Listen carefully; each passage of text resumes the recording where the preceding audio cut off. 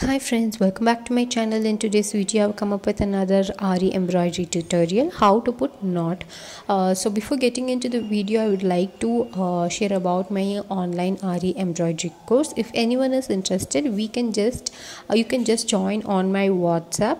Uh, it is going to be one-on-one Aari embroidery course. In this, we will be providing materials, and uh, I'll be teaching you 30 basic stitches along with three blouse, uh, 10 blouse neck designs and 10 motif designs it will be a one-on-one session. So if anyone is interested please contact on my whatsapp number. So here i'm going to show you how to end a knot for your chain stitch. Now i'm just going to uh, put a uh, chain. Now the last chain i'm just going to pull it like this. Hold it with your finger and then open the chain stitch. Now insert your needle in the last open chain stitch and then insert your needle into your previous chain. With the help of that hook just pull it and hold it in this way. So insert your needle into your previous chain pull and hold it in this way.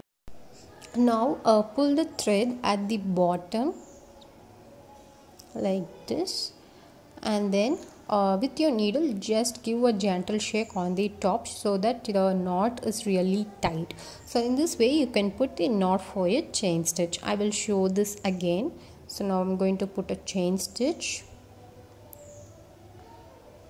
So now uh, pull out the last chain.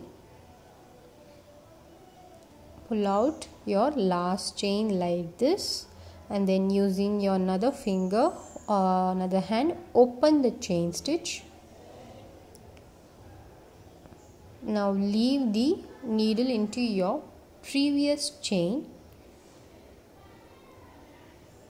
and then pull it and hold in this way. Now pull the thread at the bottom for a knot so this is one way you can put the knot. There is another way uh, without using your uh, two hands using one single hand you can just put the knot. That is also very easy. On practice you can get these. So now this is i'm just going to leave this stitch as loose as possible. Again i'm going to put another chain. Now as you can see i'm inserting the needle on the last chain and holding the previous chain and then pulling out my thread at the bottom.